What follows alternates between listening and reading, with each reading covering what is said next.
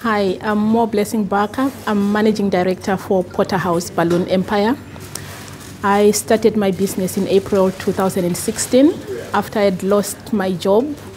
I'm a civil engineer by profession, but uh, it was very scary in, in April 2016 when I suddenly lost the job. So, in, in between looking for a job and trying to find something to do, I thought I would start something using my hands and hence I started making balloons for parties and um, events.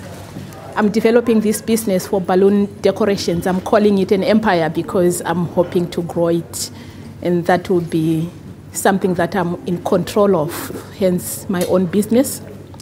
I've received some support from Torfaen Council through Torfaen Effect, and they've been fantastic mentoring me and supporting me and uh, pointing me towards the right networks to grow my business.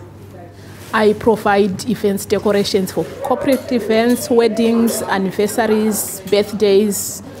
If you have anything that I can help you add that extra touch to your celebration, do get in touch and please I would appreciate your support to grow my business.